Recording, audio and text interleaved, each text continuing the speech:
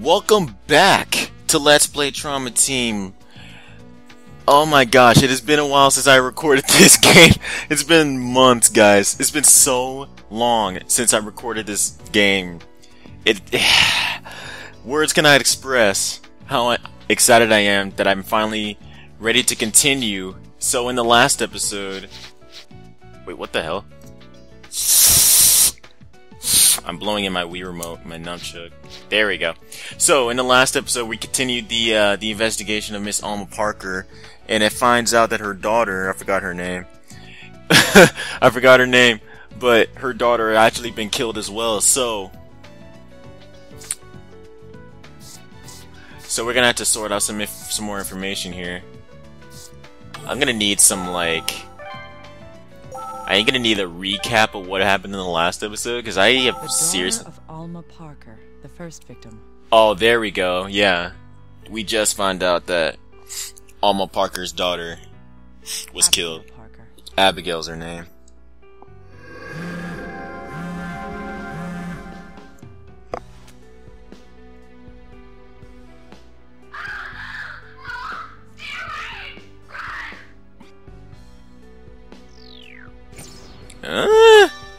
Were her last words. I'm not making any promises, but I've heard your words. to switch between corpses. Oh no, that's Ab there we go. Abigail Parker. Let's take a look. Uh, Any fingers? No. Same wound on her chest. wound on the chest. This must be the fatal wound.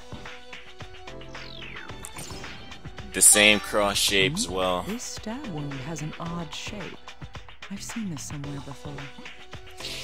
Oh, pretend. Oh, don't pretend like you don't know. Same cut on her hand. It seems like it was inflicted intentionally. I feel like I've seen a similar wound somewhere before. Really? That's it? Alright, sweet. Alright, let's check her clothes.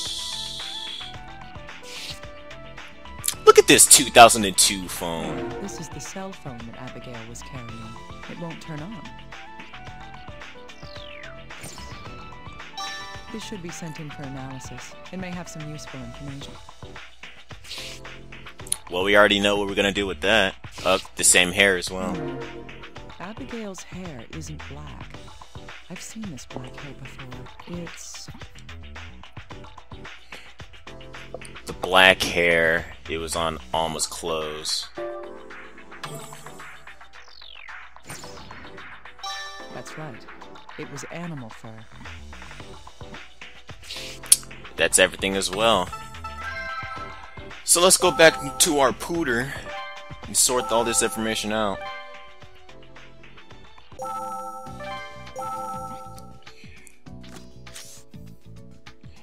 Need some analyze this Abigail's cell phone? Yes, can you see if it can be repaired? We might be able to learn something from it. Gotcha, get alright on that. Alright. Mysterious fur with the other mysterious fur. These two hairs are identical. So we know that the hair from the fur found in the fireplace at the murder scene was on both of the two victims. From this, we can deduce that Uh, the killer wore the fur. Indeed. The murderer had been wearing or using the fur somehow. Thus, it's not surprising if we found evidence of it with both the victims. Uh, da, da, da, the same brute. Wait, Hmm. There we go. These murders are too similar for us to dismiss the possibility that they're related. The wound on Alma's hand wasn't caused by external trauma, while Abigail's wound was obviously made using a sharp tool. At first glance, these may seem to be completely unrelated. However, if we consider any similarities or connections between the two corpses, these wounds may indicate some hidden link that we haven't discovered yet. All right, two-day a corpse. Can we examine the? uh...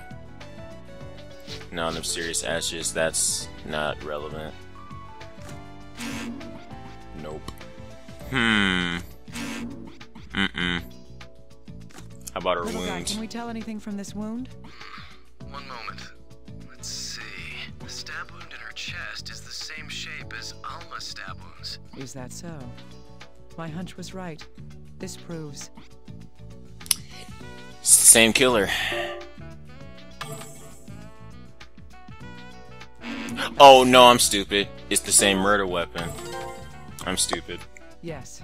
Both murders were committed using the same weapon. So were they murdered by the same person? It's likely, but there's no conclusive evidence of that just yet. Yeah, I don't know what I was thinking. The wounds aren't exactly the same. There's something very different about them. Huh? Where? It's. The depth. Yes. The depths aren't the same. Couldn't that just be coincidence? They weren't killed by a machine after all. Uh, I can't rule that out as a possibility either. Still, Alma's stab wound pierces all the way through her body and out her back. Abigail's wound barely reaches her heart. These wounds would require a vast difference in strength to inflict. Oh, there probably is a different killer then. In any case, it's dangerous to make more assumptions than is absolutely necessary. Maybe he did kill Let's his daughter.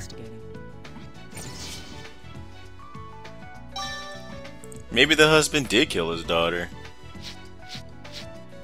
Cause you know he's in a wheelchair. He's there's no possible way like that he could have pierced his wife through the freaking um through her body, and then Abigail's was barely reached her heart. So maybe he killed his daughter, and then Alma's murderer is somebody else. No evidence of that yet.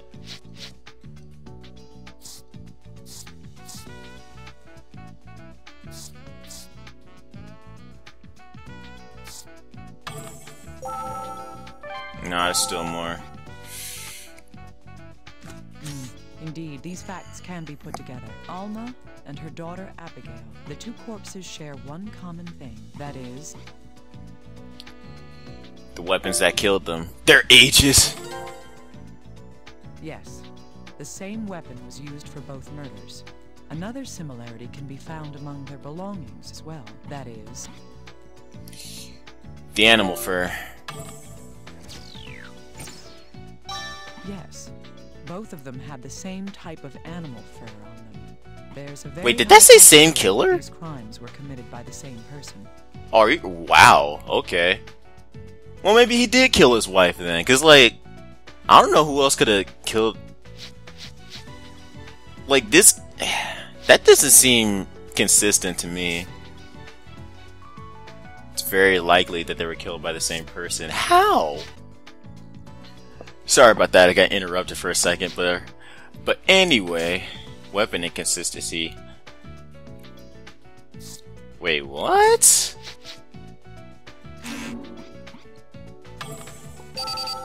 Ah, Dr. Kimishima. A new testimony has arrived. Good. Whose testimony is it this time? Let's see.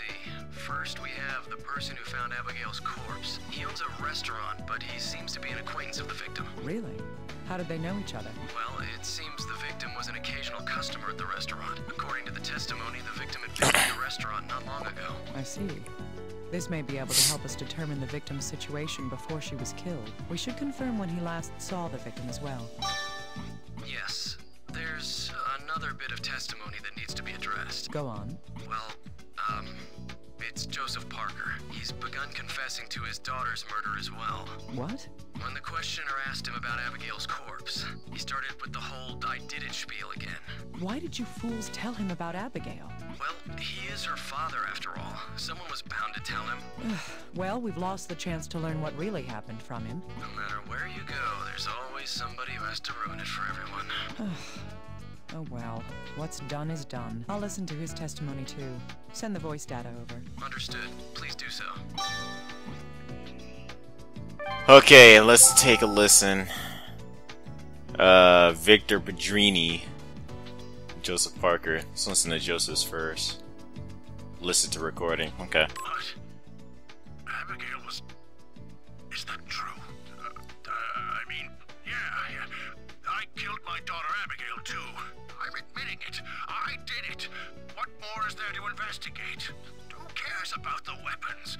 It doesn't matter. Quit fooling around and give me the death penalty. Okay, now I'm really confused.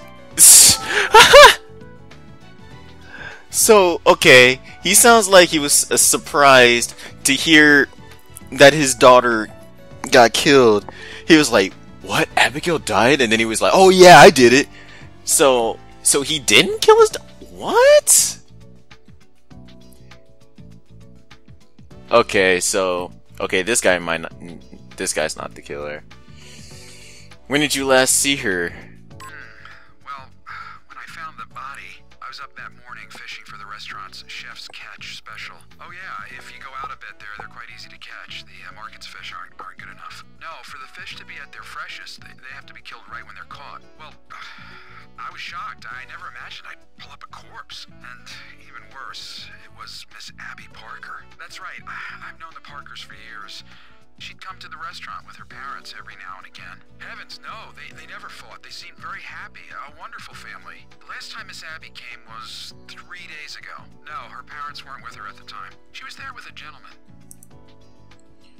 Uh, yeah, she was there three days ago. Hmm. He says that Abigail was at his restaurant three days ago. So Abigail was still alive at that time. So she was still alive three days ago. Huh. How long ago did she die? Two day. Oh, there you go. We can trace Abigail's whereabouts with these facts. Her corpse was found about two days since her death. The man who found her body last saw her three days ago.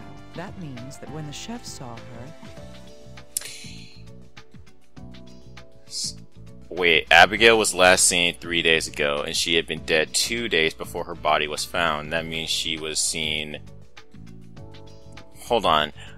What? three? Okay, she was last seen three days ago, and she's been dead two days before her body was found. That means she. Okay, if she was seen three days ago, and then she was seen and then her body okay she'd been dead two days before her body was found. She was seen days before death. What? Seen was seen after she died? What? That was careless. i didn't get that question at all. It was not long before she was killed. oh i'm probably hella stupid yeah that's what it is i'm just stupid. There's stupid a high possibility that Abigail was killed soon after she left his restaurant. Really investigate the man who was seen with her the night she died. Oh, I'm a moron. Who was she with? Oh, Dr. Kimishima, could I bother you for a moment? Uh, if I said no, would you leave me alone? Uh, no. I definitely think you should hear this. All right, hurry up. Thank you. Well, HQ has made a move. The FBI has arrested a suspect for Abigail's murder. What's going on? Who knows? Maybe they're jumping the gun. I don't know what the higher ups are thinking. The man's name is Sean Bowen. He was Abigail's boss where she worked. His wife, Carolyn Bowen, was also taken in for interrogation. They're both at HQ now. Huh. Is there any evidence that he's the killer? It seems that this was found at the scene where Abigail had been murdered. What's this? It's an expensive lighter made in France. It's a custom order with his name engraved on it. Sean Bowen. Well, there's no mistaking that.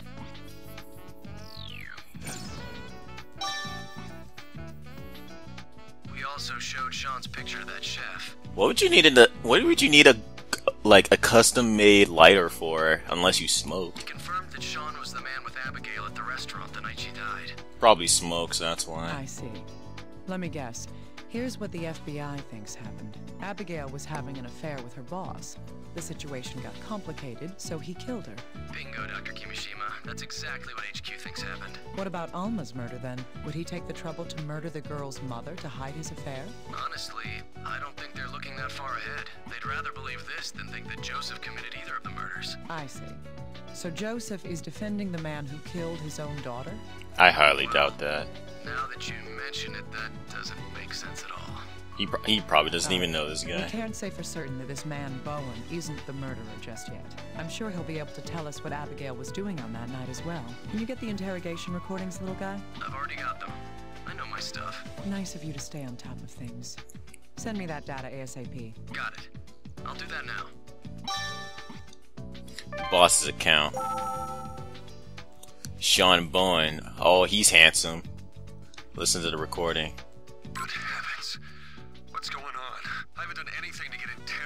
By people like you. Abby? Yes, she, she did work for us. She was a very innocent and, and beautiful girl. You know the type, right? Look, I'm sure you figured it out for yourself, right? What we have is a relationship between two consenting adults. She's the one who asked me to meet her at the restaurant, but she got a phone call and left before the meal came. Where she went. How should I know? Uh, she said something came up, but but who knows? Huh? That's my lighter. Where did you?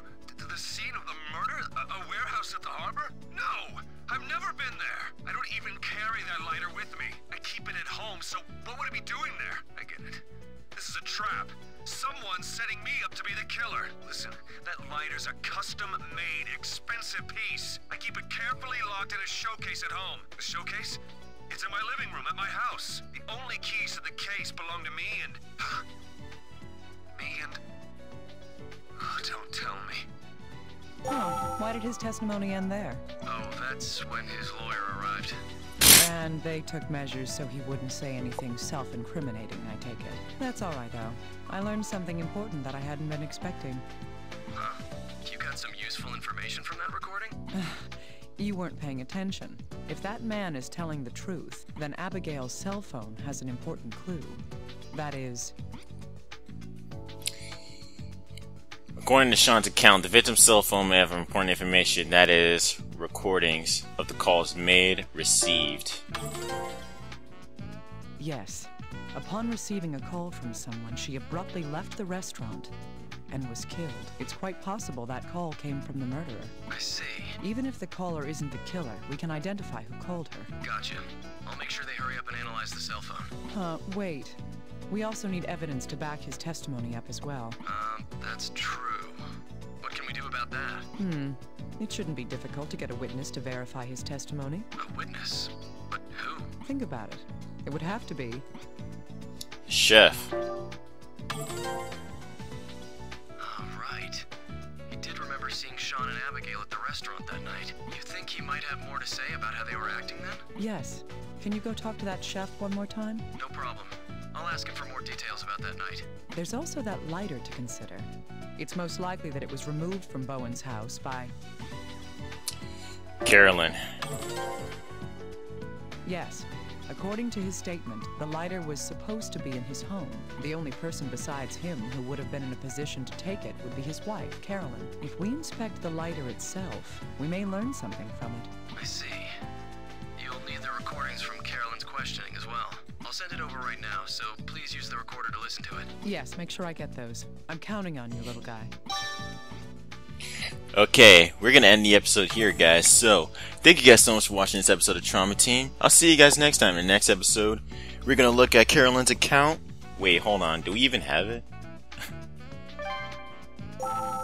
oh, yeah, we do. Yeah, we're gonna listen to Carolyn's account. Oh, she's kinda hot. But anyway, we're gonna listen to Carolyn Bowen's testimony in the next episode, alright? See you guys next time. Bye bye.